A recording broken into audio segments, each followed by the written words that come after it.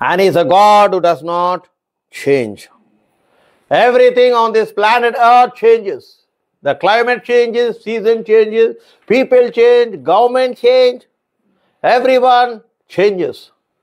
But God does not change. That is the attributes of God. He is the same God yesterday, today, and forever. He remains the same. Hallelujah. And today the Lord wants each one of us that we need to walk uh, by faith. Hallelujah. The testing of your faith produces endurance. Hallelujah. Your time will come when your faith will be tested.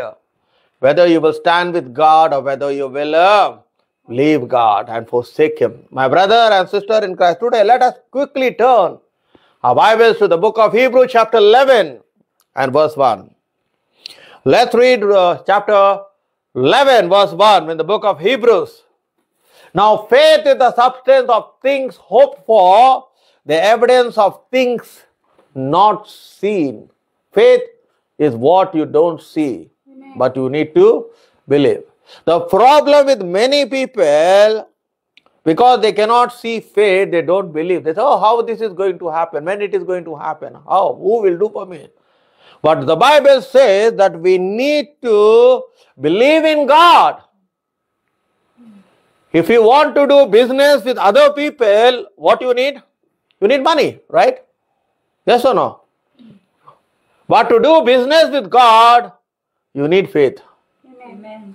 That's why wherever you see in the Bible that whether Jesus healed the sick or performed miracle, only one question he asked.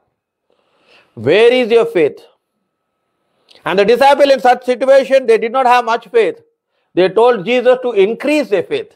Amen. If we look into the Gospel of Luke, chapter 17, and verse 15, let's see what the Word of God says. 17, verse 5. The apostle said, And the apostles, Lord, increase of faith.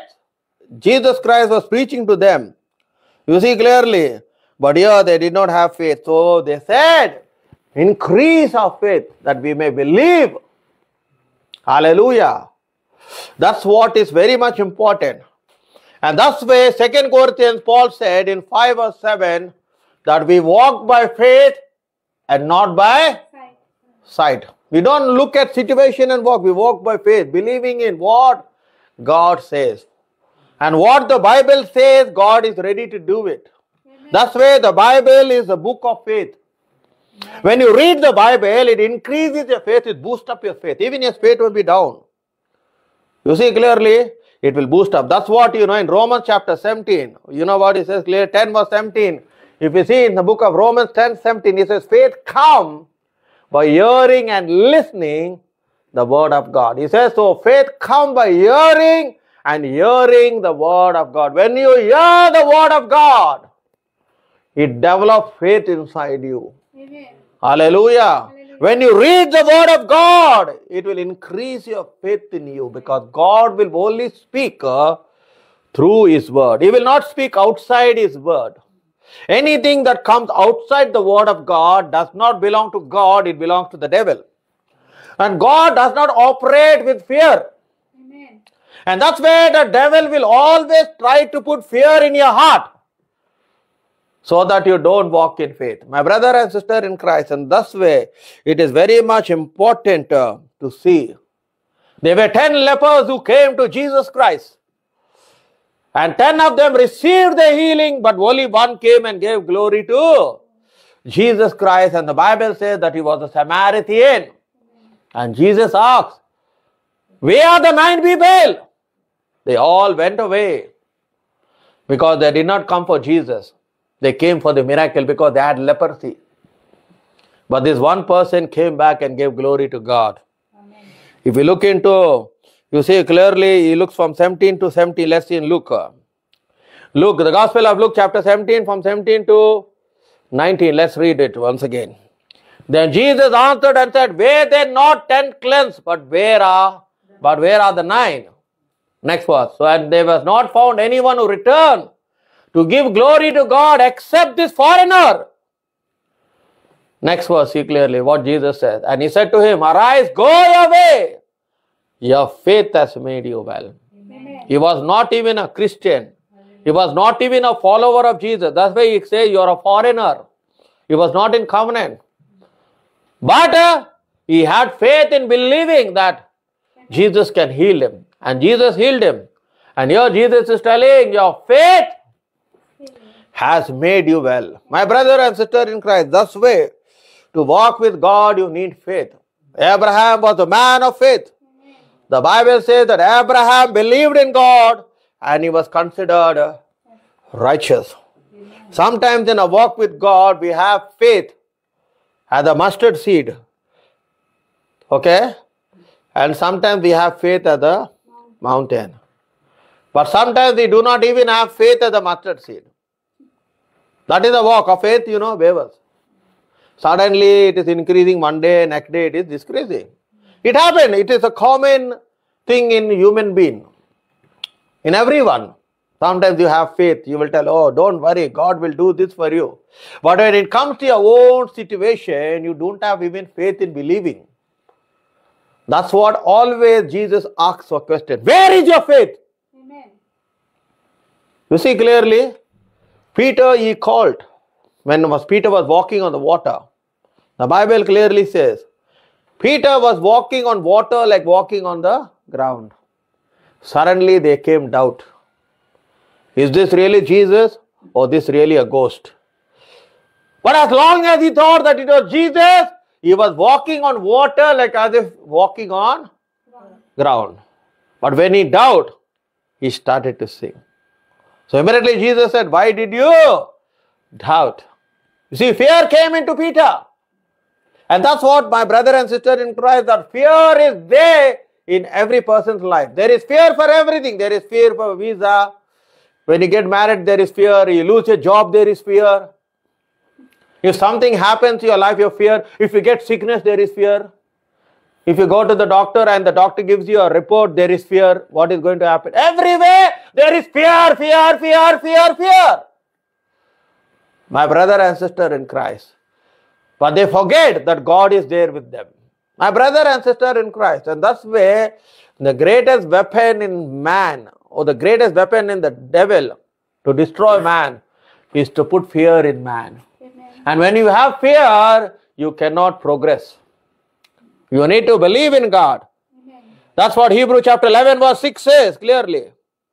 Hebrew chapter 11 and verse 6. Let's see what the word of God says.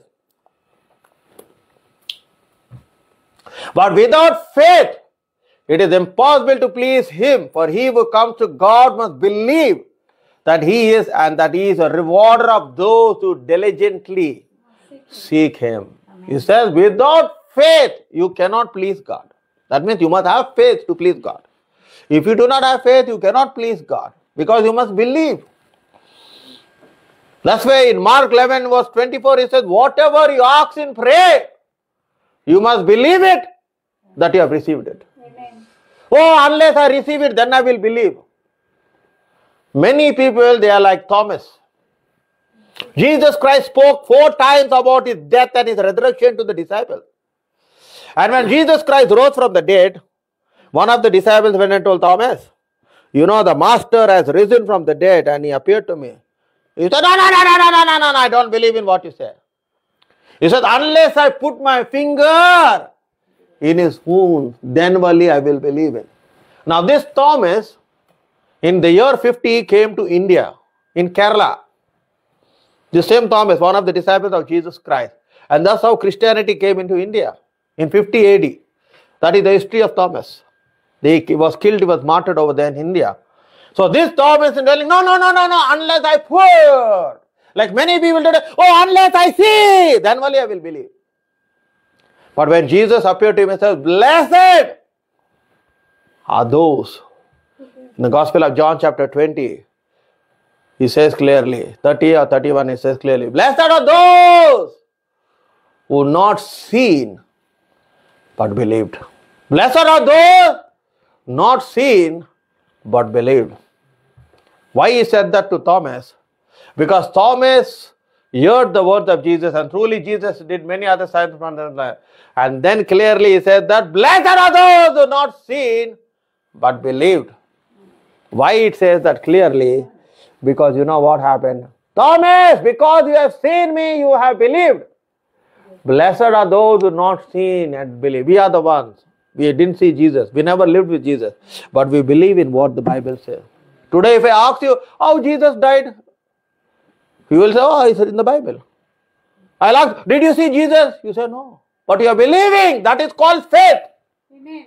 Hallelujah. Hallelujah. My brother and sister in Christ, in here we see. He said, You have not seen but believe, but blessed are those, though they did not see, but they believed in what I said. And today, my brother and sister in Christ, we are like those people. Though we did not live during the time of Jesus Christ, but we believe in what the Bible says. We believe and we don't doubt his crucifixion, no, his resurrection, no, his second coming. My brother and sister in Christ, because in the last day they will be mockers. They will mock and say, Where is the promise of the fathers? Everything has moved until day today. They said, Oh, Jesus is coming, Jesus is coming, Jesus is coming. But Jesus did not come till now. There will be mockers, but we don't have to doubt about that.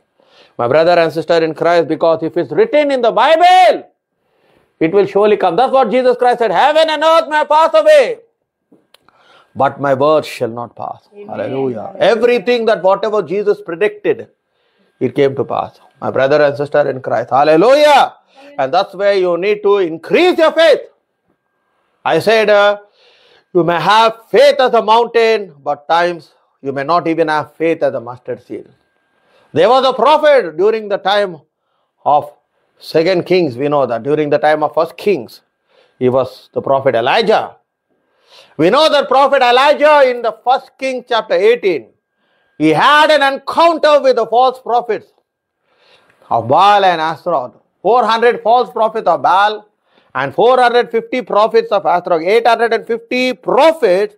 And these false prophets, they sat at the table of Jezebel, the most powerful woman during her time. You know, she controlled these 850 prophets.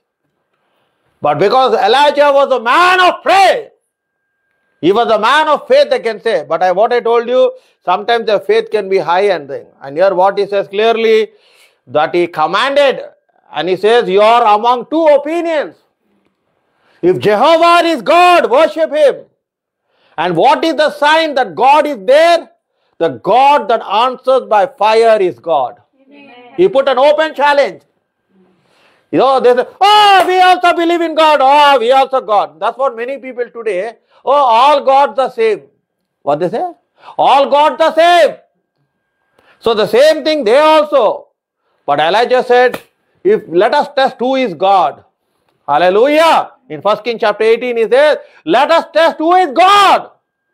Because they also were worshipping gods. They also were worshipping gods. So Elijah said, Okay, why are you in two opinions? Let us know who is real God. The God who answers by fire is God. And they said, Oh, okay, we accept the challenge. And immediately they erected an altar. They put wood, they put everything for a sacrifice because fire has to come and burn the wood. Everything they did, they started to call upon their God. From morning till evening, they were calling, calling, calling, calling, calling, calling. Nothing happened. So finally, Elijah made a mockery of their God. He says, Is your God sleeping? Yeah. Is your God sleeping? Why? Because the God of the Bible does not sleep, no slumber. Amen. Hallelujah. Bible says in Psalm 121, He is the God who neither slumber nor sleeps. So here it says, Is your God sleeping? Okay, if your God is sleeping, wake him up. But for morning, the Bible says for morning to evening, they were trying the level best. Because if he's really God, today I'm asking you, He must answer you. Today, this is the challenge I am throwing openly to everyone. If he's God, He must answer you. He must visit you in a vision, in a dream, and say, Lord, if you are really God, speak to me, show yourself to me. Amen. God will show yourself to you. So immediately it was now the time of the prophet Elijah. You see, it has known that Elijah mocked them and said, Cry loud, for he is a God. Either he is meditating or he is busy, or he is on a journey, or perhaps he is sleeping and must be awakened. You see? And then clearly we know next thing. It is the chance of the prophet Elijah. Hallelujah. They did a lot of stuff. See, they cried out, they cut themselves, as is custom with knives and lances until blood gushed, thinking that at least that God needs blood sacrifice. So if we give blood sacrifice like humans, I'll tell you something. The devil always wants human sacrifice. God doesn't want. Amen. If God wanted human sacrifice, He would have allowed Abraham to kill Isaac on the altar. That's why when Cain killed Abel, he was angry. He says, Where is your brother? He says, I am not my brother's keeper. He says, But the blood of your brother is crying out to me. So God hates murder. When you kill someone, you have violated the command of God. That's what I told you before also. You see, the Bible is a Bible of love. Jesus Christ portrayed love, not to kill one another and call things, stuff which is happening in the present world. So they cut. It's now the time for Elijah. What he did, he put water in the trance and he put everything. When he called, the God came down by fire. Hallelujah. You see clearly, God answered by fire and burned the offerings. And clearly, what happened? All the people proclaimed and said, The God of Elijah is God. Why? Because he manifested himself by fire. A brother and sister in Christ. Hallelujah. You see, and it came to pass at the end of the offering of the evening sacrifice that Elijah the prophet came near and said, Lord God of Abraham, Isaac, and Israel, let it know this day that you are God in Israel and that I am your servant and that I have done all these things Amen. at your word. Hallelujah. And next verse, see what he says clearly. And immediately, hear me, O Lord, that these people may know that you are the Lord God and that you have turned their hearts back to you again. And immediately, fire came and burned the offering. Hallelujah. Then the fire of the Lord fell and consumed the burnt sacrifice and the wood and the stones and the dust and licked up the water that was in the tent. He put even water. You know, when you put water on the wood, it is very hard for the wood to catch fire. Yes or no? Okay? Because if we want to put out the fire, we, we put it out with water, right? That's what we do. We want to put out the fire, what we do? We put water. We use water. But yeah, you put water so that you know how can it catch fire. But God, you know what happened? Fire fell, and immediately when all the people saw it, they fell on their faces and they said, The Lord God is God, the Lord is there. You see his faith? His faith was like mountain. Amen. But in the 19th chapter, one servant went and ran to Jezebel and said, For tonight, you know, dinner, 850 false prophets you will not see anymore. Was, Why, what happened? Are they in a holiday? He said, No, no, they're not in a holiday. There is a prophet called Elijah. He killed the 850. That means 850 is minus on your table. She was angry. In the 18th verse, one says clearly, in the 19th verse, we see clearly that she was so angry. With who? With the prophet uh, Elijah. You know, that's what happened. I'm telling you. See, in 19, 18th verse, his faith was like how? Like a mountain. One man challenging 850 people. Hallelujah. But in the 19th verse, uh, verse 1 and 2, clearly we see what happened. One servant went and told this Jezebel, this queen, See, sent a message and says, Ahab told Jezebel all that Elijah has done and how he has executed all the. Who went and told the queen? The king.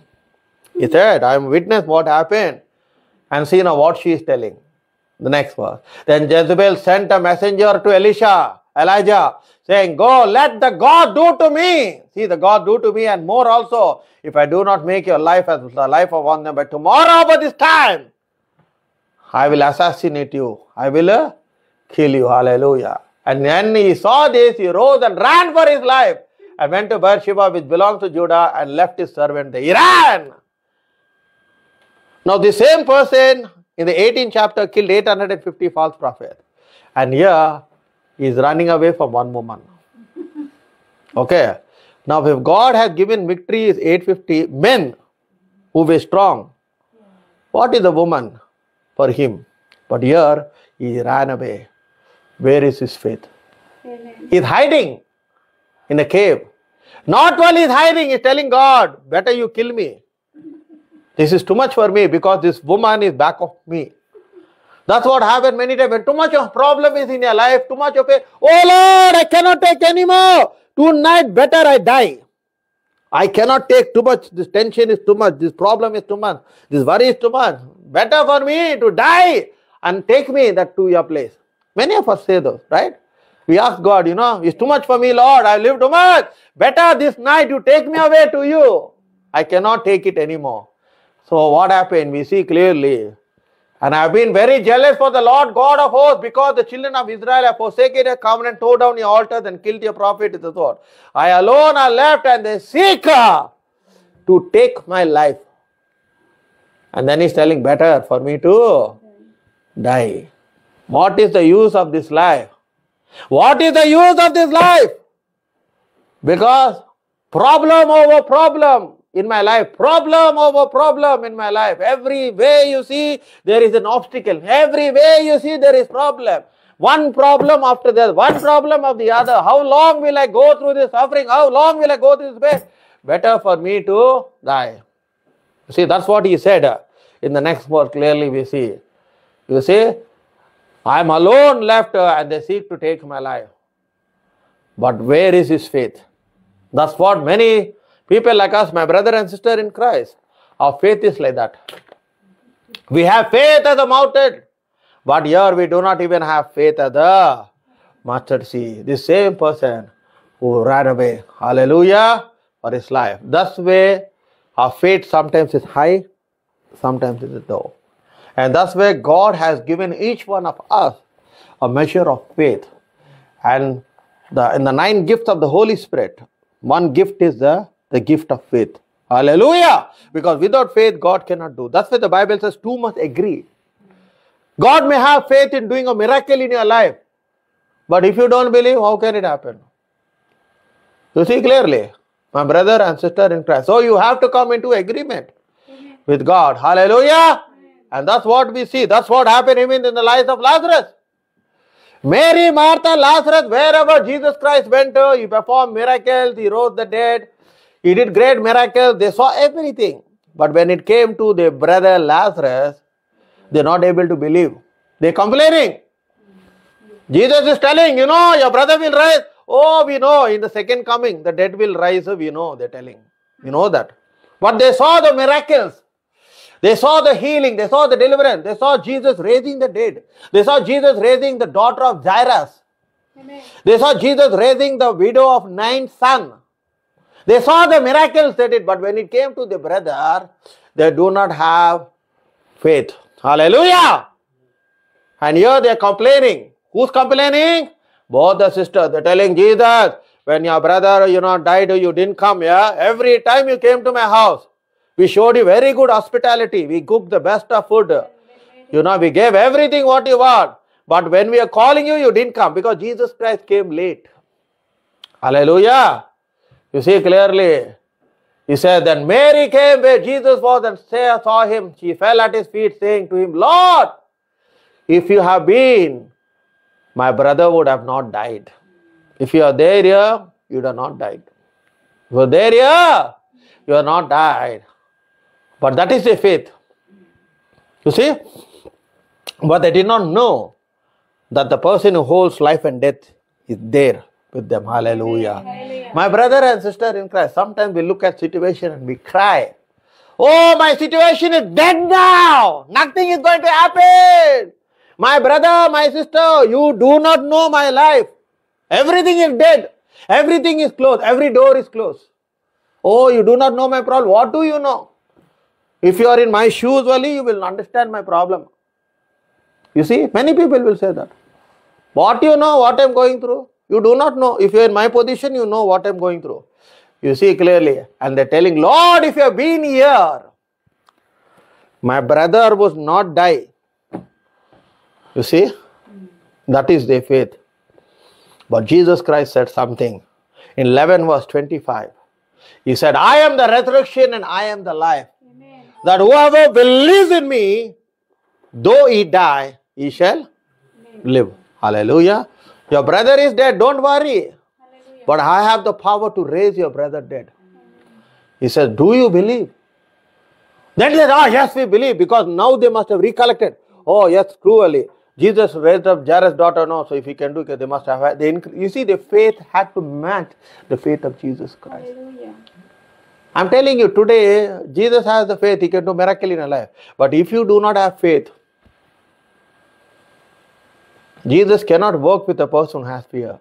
Unless you take away that fear and believe, this belongs to me. Yes, I take it by force. Bible says, from the day of John the Baptist, the kingdom of God suffers violence, but the violence shall take it by Force. Matthew 11, 12. This job belongs to me. I will be in this country. No one can take me. There was a sister who used to do evangelism. She was illegal.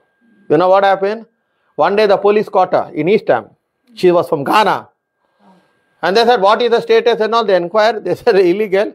They said, Now we are going to remove you and take you to the detention center, deport you. You know what she said? God brought me into this country, and this United Kingdom belongs to God. Without the permission of God, you cannot remove me, I am not coming. When she said those words, the power went, I don't know what power went to them. Those police fellows, they left her hand and they ran away. It is true, my sister. I'm telling you, it's true. It really happened. Her faith was her. She says, No! God did not tell me to go back to Ghana and I'm not going. I'm telling you, her faith was so strong. I'm telling you today, God gave her a British passport. God gave her a house. Her husband is a driver. We, I used to see him in 238. He used to drive. Emmanuel, by faith, you know what they did? They had nothing. But one thing they did, they stood in the they stood on the high road and they used to give tracts and say that Jesus is God. They were so faithful, I'm telling you. God gave everything. Yeah. They said, No, God brought me into this country. It belongs to Him, not to you. I am not going. That was the faith. I was there when it happened. I was thinking, how this lady, how was she talking like that? But today, blessed couple, because it is the faith in which, when you stand for God, Stand. God will. He said, If you walk one mile, I'm ready to walk another mile. Hallelujah. Hallelujah. But if you deny, like how Peter denied, Amen. Peter challenged Jesus. Master, even I we are ready to die. I'm going to die. He says, before the rooster can crow. But then he said, even if I die, I will not deny you. He said those words.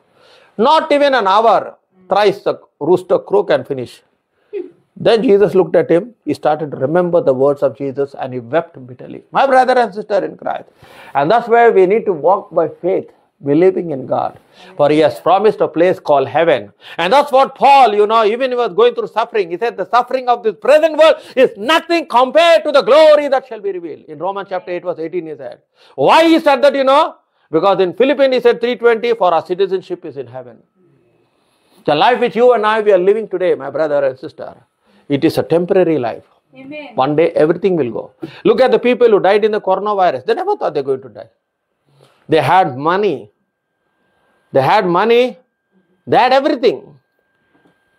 But they could not save their lives. Hallelujah. You see clearly, my brother and sister in Christ. I consider the suffering of this present time are not worthy to be compared with the glory which shall be revealed to us. Because in Philippians 3.20 he says, I finish, our citizenship is in heaven. This home is not a home. This is a temporary home. One day you have to leave everything. Because God said, uh, you have come from the dust, you will return back to the dust. So when you die, you know, you will take nothing. You may be the most richest person in this world. Hallelujah. You may have properties, you may have everything. But when you die, you have to leave. You will be buried in a six feet grave. And after some times, you will also be forgotten. You know, clearly. I'm telling you today, for our citizenship is heaven, for which we also equally wait for the Savior, for the Lord Jesus Christ. That's why they were able to take pain. They were able to take rest. They were able, why? Because of their faith. They continued in their faith. They never gave up. They were beaten up. They were martyred. They were killed. They were hung. They were burned alive. Look at the, the disciples, how they died. If you want to know the story, look by a book. It's called the Foxe Book of Martyrs, how they were killed. Everything is given. You will cry if you read that book. You'll say, I'm nothing in front of them. It's true, my brother and sister in Christ. That's why we need to have faith in God. Amen. Believe in God. Hallelujah. Do not doubt his existence. Oh, I didn't see God. I, how can I believe in him? God is there because you and I we are created in the image of God. We are formed in the womb of a mother. God said to Jeremiah, Before uh, you are formed in the womb of your mother, I have known you, I have called you.